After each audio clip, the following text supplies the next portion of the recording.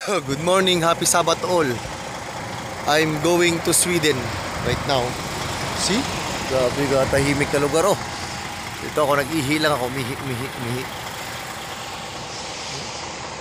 Makin mo yan? Ano, ikaw lang mag-isa rito. Ano mag-isa rito? Nasa gitna ako ng kalsada, umihi. Happy Sabbath to all dyan sa aking mga kaibigan and friends dyan sa Pilipinas. Yan ang aking truck, ang laki. Happy Sabbath to everybody. Diba? Bihila ako. Nag-rest lang ako saglit. Ayun. Tugulin yan. Oo, may ang aking truck. Ang laki. See? Yung mga tropo. Oh. Oh. Ang bagal ng takbo. Pero sandaan na yan. Ako, laki daw. Laki kilo. Di ba? Uy, grabe grabe. Ang mukha nga ako ba?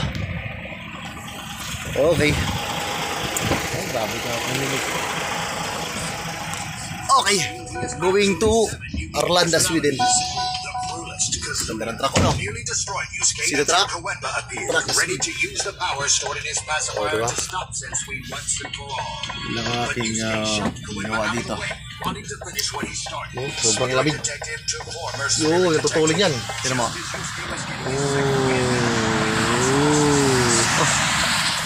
Gangurog lang. Peace. Happy Sabbath all. It's time to ride again. Tingnan naman kung may yellow.